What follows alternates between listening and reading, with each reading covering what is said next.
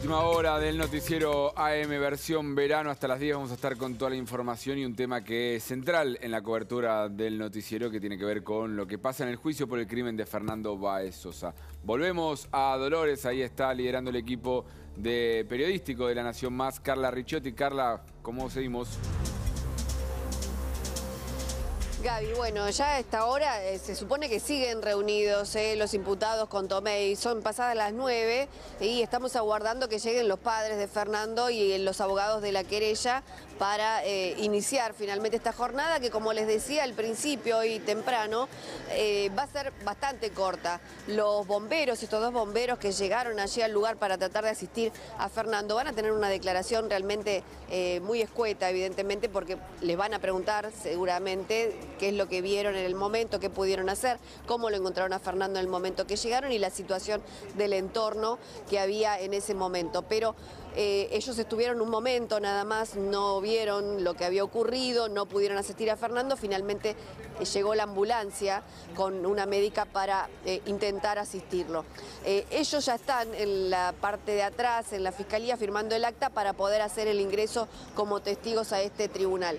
Quien va a declarar también es un testigo, antes lo escuchábamos al fiscal, con respecto a los testigos de concepto, que son testigos que dan un semblante, que dan su opinión y su visión acerca de cómo era eh, la actitud, el accionar o cómo se manejaban estos imputados allí en Zárate. Una persona también de Zárate que aparentemente era víctima, vamos a decir entre comillas, de ellos también porque sufría bullying o los veía como accionaban en los boliches o cómo se manejaban en general allí en, eh, la ciudad. Eh, y esto es lo que va a aportar.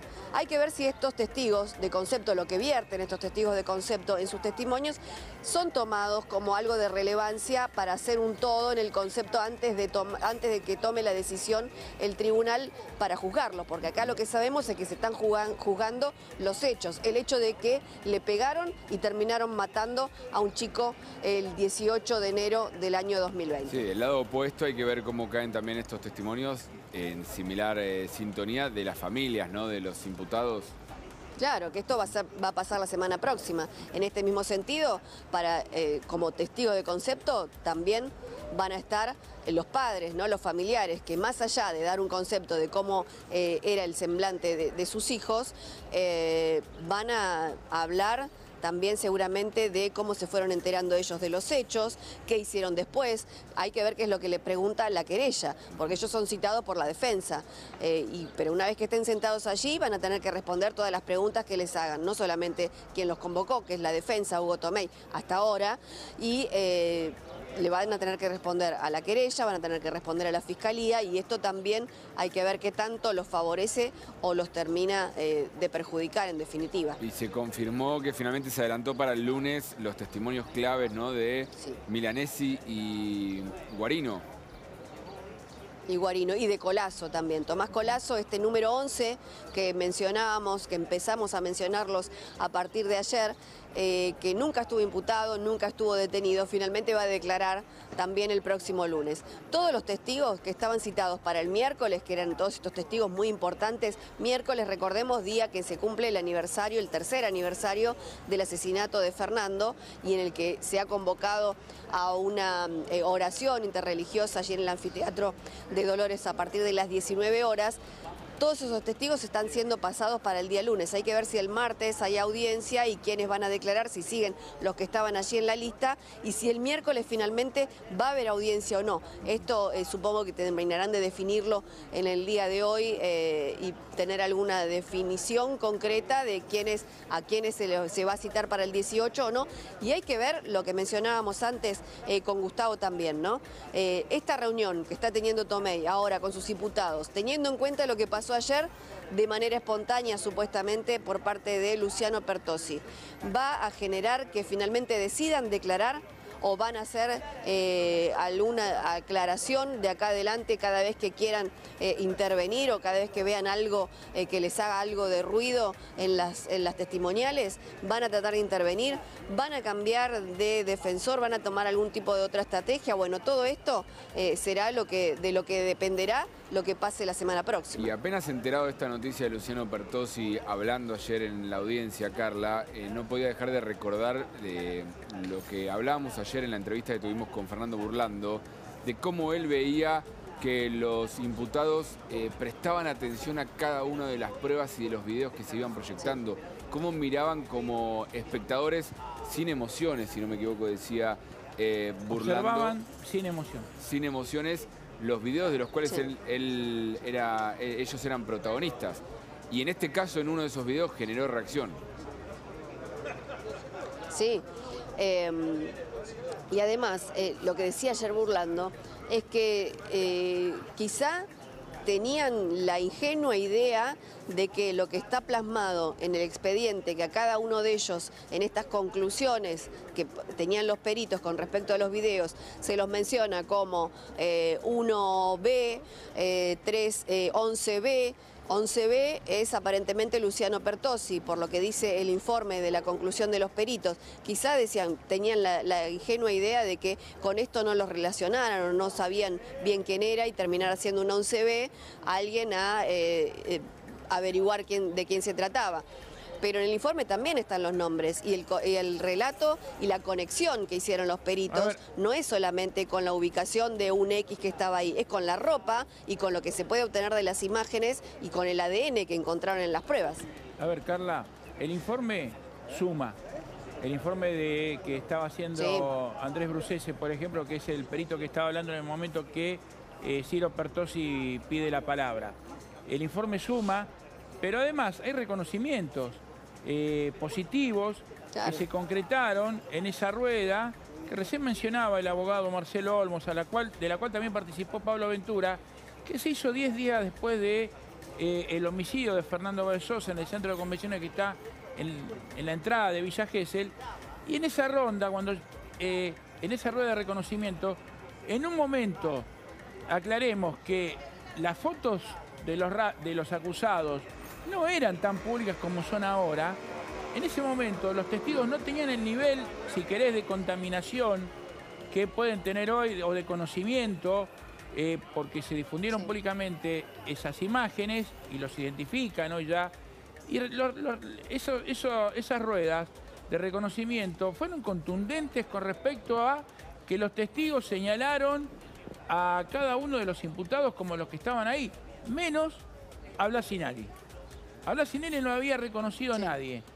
Pero Blasinelli queda eh, vinculado al ataque porque aparece eh, material genético suyo en la uña de, Fernando. Entonces, hubo contacto. O sea, no puede negar que no estuvo ahí porque parte de su... Porque su ADN, no parte de su ADN, parte de su material genético apareció debajo de la uña de Fernando. Entonces, básicamente...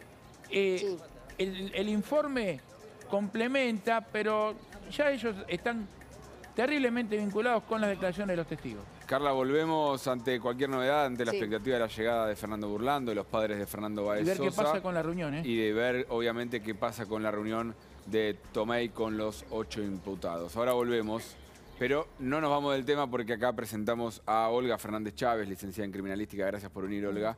Eh, preguntarte primero cómo estás viendo estas audiencias y las pruebas que se van conociendo a lo, largo de las audiencias, ¿qué, dicen para vos? En realidad era esperable que iban a tratar de cuestionar la validez de las pericias, al menos por, una cuestión de que hay muchas técnicas que hoy día se consideran pseudociencias y que las conclusiones, aunque suenen contundentes, no lo son de tal forma, ¿sí?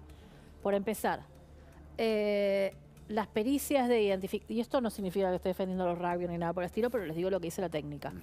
Las identificaciones de calzado, eh, hoy día el grupo de investigación, debido a un llamado de la Academia Nacional de Ciencias, el grupo de investigación de ciencias forenses especialistas en pericias eh, de impresiones de calzado de huellas de neumáticos, te hablan de que tenés, puedes hacer identificaciones de clase, o sea, por decir, es de la misma marca.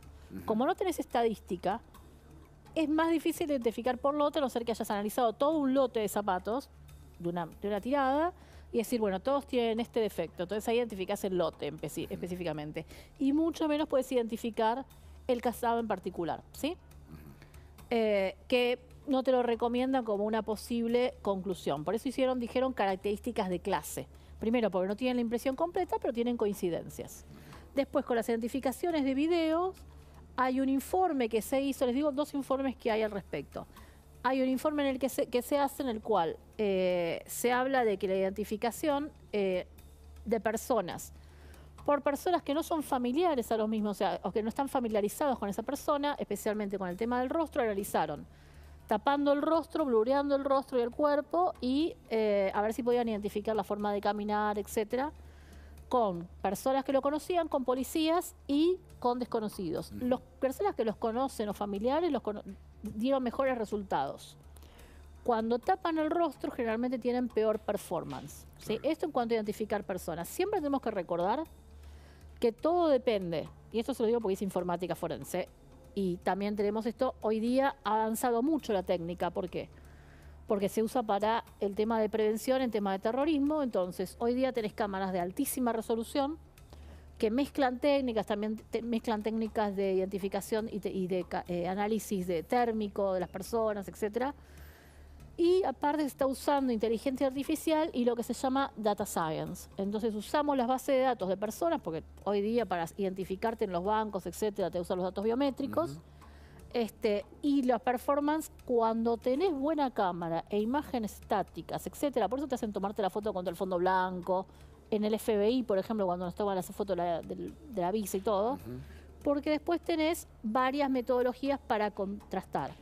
El problema que a veces tiene la técnica y los errores que han dado generalmente son con lo que se cuestiona es que le cuesta más al software identificar entre individuos de afroamericana, de ascendencia afroamericana, pero no es un problema que vayamos a tener aquí en Argentina. Eh, y eh, lo que demuestra es que si la cámara es suficientemente buena y la imagen es suficientemente nítida, vos el cotejo te da un, nivel de, exactitud bastante aceptable. ¿sí? Porque usas varias medidas para cotejar. Ahora, de ahí a que tenemos cámaras que son de vigilancia, cámaras de celulares, que se está moviendo el que lo está filmando, etcétera, el análisis frame por frame va a darte mejores resultados muchas veces bajando la imagen, analizándolo con software forense, utilizando software de mejora digital que no alteran la imagen, etcétera, sino que mejoran el contraste, etcétera. Entiendo por lo que decís, si fuese una única prueba, quizás sería más fácil para la defensa cuestionarlo, pero como tenés acumulación de pruebas que todas más o menos los testigos también, etcétera, y ellos están apuntando a tirar abajo con sus peritos y con este tipo de cosas las pericias y obviamente tengo entendido que tienen sus propios testigos y sus propios peritos que van a testificar después. No sé específicamente qué especialidades tienen. Vamos a analizar estas pruebas, algunas de estas pruebas que se fueron desarrollando, Gustavo. Exactamente, y quiero hacer una aclaración también.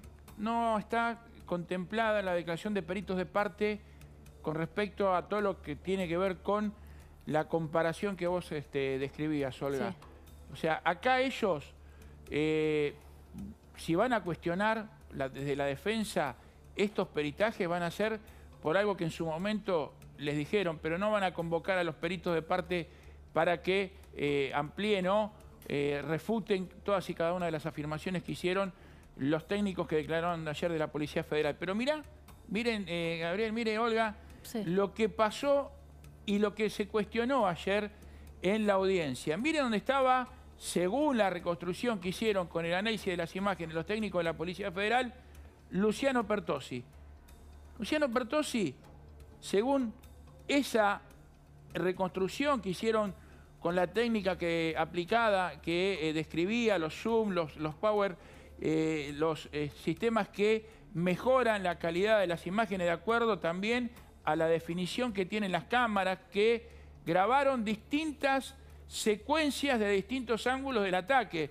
Porque acá, convengamos algo, hay cámaras de celular que grabaron una parte del ataque. La, imagen de 7 segundos grabada por uno de los atacantes, las cámaras de seguridad del boliche y también las de otros transeúntes. Pero miren dónde estaba, según el perito Andrés Brucese, Luciano Pertosi. Ustedes ven acá lo que tiene que ver con, esta es la vereda y acá esto es Lebric, está enfrente. Entonces, Luciano Pertosi dice, cuando manifiesta y declara el perito Andrés Bucese, yo no soy ese que ustedes están señalando. A él no se le ve la cara, pero los técnicos sostienen que es él por el tipo de vestimenta y porque otros testigos lo habían reconocido con esa vestimenta. O sea, acá hay una acción, un testimonio que tiene que ver con un, un estudio interdisciplinario donde se comparan imágenes y también lo que se reconoció en rueda de detenidos. Esto, te sumo, Olga, ¿puede ser un error de la pericia o puede ser también una mentira de Luciano Pertossi en este caso para desviar la atención? No, es que justamente el tema es que ahí te, se va a dificultar la identificación porque la imagen es borrosa, eh, la identificación de lo que puedes hacer de las prendas siempre, o sea, hay miles de prendas similares, pudo haber otra persona con coloración y ropaje similar, el tema es verlo activamente eh, realizando alguna acción y aparte lo ideal siempre es tener una imagen por lo menos del rostro de la fisonomía o si no hacer fotogrametría. Fotogrametría te permite calcular la altura más o menos del sujeto, entonces ahí descartas a otros, etcétera. Le pido a la producción si podemos pasar a las imágenes que ellos habían, eh, que, habíamos, que íbamos a mostrar al principio. Mira, esto es lo que cuestionó Luciano Pertossi, porque los técnicos de la Policía Federal ya no iban reproduciendo los videos, sino lo que se hacía ahí era una exposición cuadro por cuadro como esta.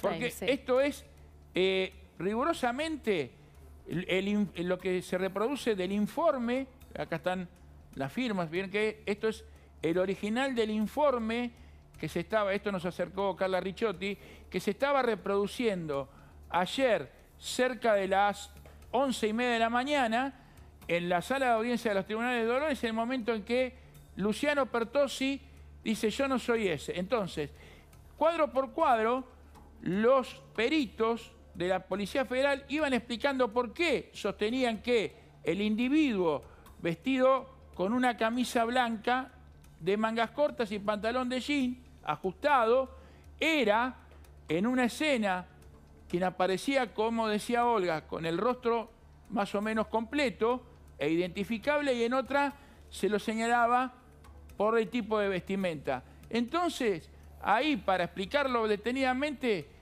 ya no se hace una reproducción de video, sino que se hace esto, una exposición cuadro por cuadro. Este es Matías Benicelli. ¿Ven cómo estaba con el pelo largo y el rodete? Y ven cómo ahora aparece con el aspecto cambiado. Bueno, ahora pasamos a la siguiente foto. Este es justamente Ayrton Michael Violás. Miren cómo está acá y cómo aparece. Remera blanca, mangas cortas, pantalón de jean. Pasamos a la siguiente. Y acá está justamente Ciro Pertossi.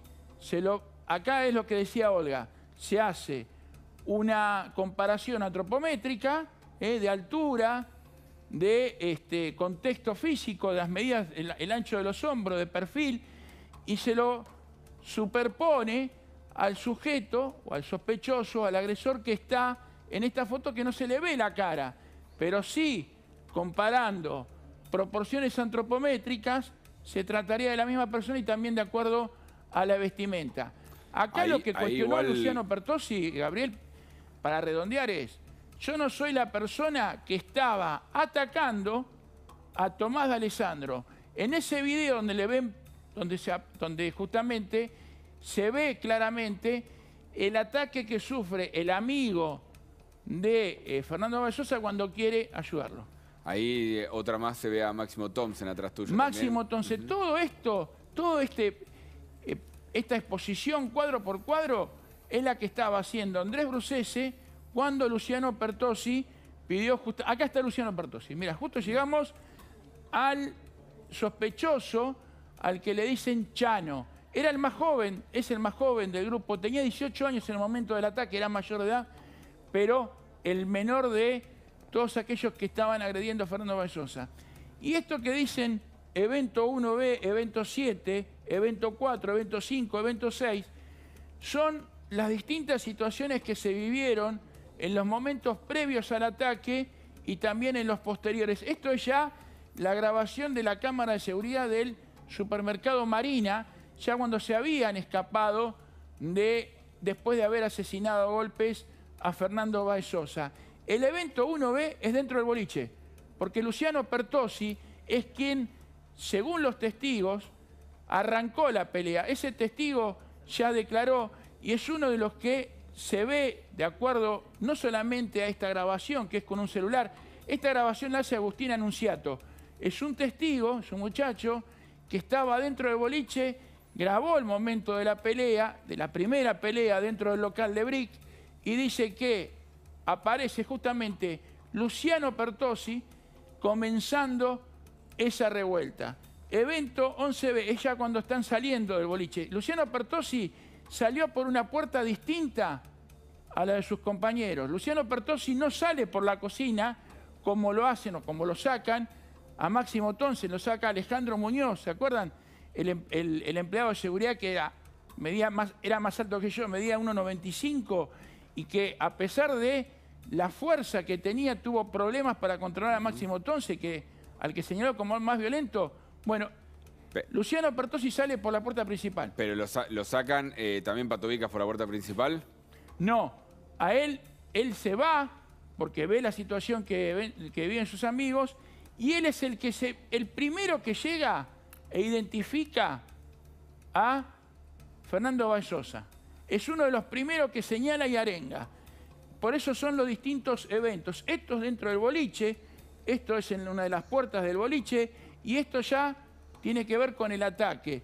Y acá es donde aparece justamente en la puerta, tomado por la cámara de seguridad después de que habían matado a Fernando Vallosa. Y hay una imagen que no fue analizada por los técnicos, que es la del domo de la cámara de seguridad de la Municipalidad de Villa Gesell que a las 4.45 y 51 segundos del 18 de enero de 2020 describe ahí la policía Evelyn Merlo un grupo de ocho personas que después de terminar la agresión contra un muchacho se van. Esos ocho se van en bloque, pero en un momento hay dos que se separan del grupo, vuelven sobre sus pasos y se abrazan. Esos dos eran Matías Benicelli y Luciano Pertosi. Esta imagen se lo ve con la remera negra a Luciano Pertosi que después y se dan un abrazo además. Eso quería, quería remarcar. Luciano Pertosi y Matías Benicelli y Gabriel vuelven y se dan un abrazo como festejando lo que habían hecho. Remera negra decía de Luciano Pertosi, que es la que los peritos también muestran en el video, que generó la reacción de Luciano Pertosi. En este momento, Carla reunido junto a sus pares con el abogado defensor Hugo Tomei, ¿no? Sí, continúa la reunión ¿eh? y todavía no empieza la audiencia, todavía no han llegado tampoco los abogados de la querella ni los padres de Fernando, pero continúan reunidos. Eh, entró hace algunos minutos también Emilia, Emilia Pertosi, eh, recordemos que es hermana de Luciano, de quien declaró ayer que en el momento en que, de, que él se paró y que pidió hablar, eh, la asombró también a ella, eh, por los que estaban adentro, los testimonios de los que estaban adentro dicen que lo miró como asombrada eh, cuando él dijo, que, cuando levantó la mano y dijo que quería hablar. Lo mismo su madre, María Sinali, que es además la tía de Blas Sinali. acá son todos, es todo, todos son familiares. Tomei es familiar también de ellos, es padrino de Emilia. Milanesi, perdón, se me había ido el apellido, Milanesi también es eh, familiar de ellos, son todos familias, el que no es tío es padrino, es, eh, eh, por ejemplo, el papá de Lucas Pertosi, que viene todos los días, es tío obviamente de Luciano, de Emilia y de Ciro. pero además, hace algunos años era entrenador de rugby también, de los chicos.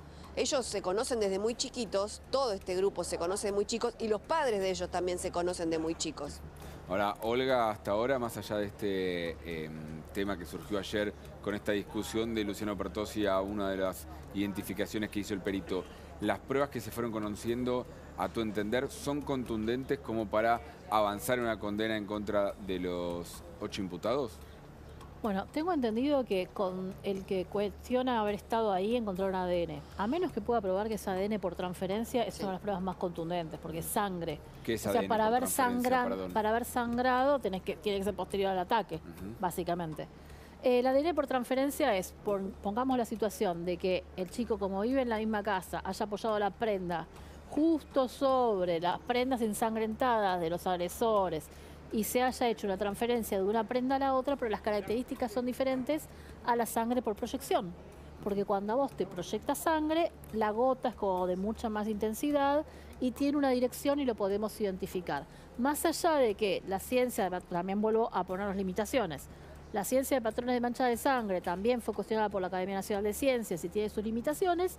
Es una buena orientación, es un indicio. Claro. Lo puedes tomar como indicio y el ADN tomarlo como evidencia. Corregime, Gustavo, si me equivoco. Estamos hablando de Blasinali, ¿no? Que es el que no se lo puede identificar en el lugar, que además tiene la otra prueba, la del, de Domenique de Fernando. Exactamente, y además no se lo puede identificar pegándole a este, Fernando Basosa, pero sí se lo puede identificar pegándole a Tomás Alessandro, que es el amigo de Fernando, que trató de acudir justamente en su ayuda. En tu experiencia en la materia, eh, ¿hay, algún vericueto por donde el abogado defensor puede llegar a eh, lograr una, mejor, una, mejora en la pena para sus eh, defendidos?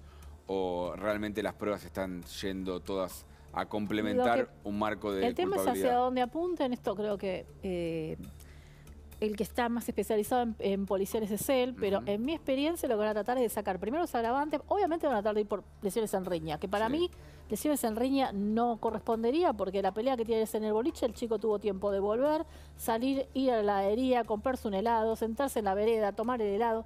No estaba haciendo pelea con nadie, entonces es como que no puede decir que continuó la pelea, porque había pasado un tiempo ya.